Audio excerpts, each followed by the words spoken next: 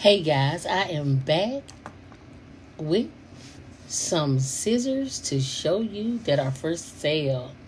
I have a pink pair of Fiskars, a pink pair, and I would like to get me another pair and my daughter a nice pair of scissors as well.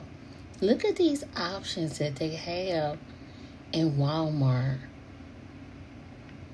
Nice. I have this pink pair of Fiskars and I also have the little cuttery, um, the cut rotary, rotary the wheel circle. Look at these options. They have Westcott, they have Fiskars.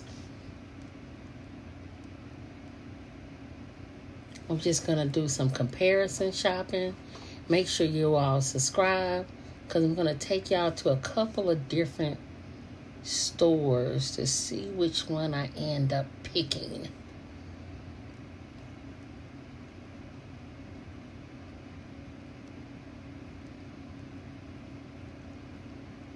And tell me in the comments what's your favorite brand of scissors.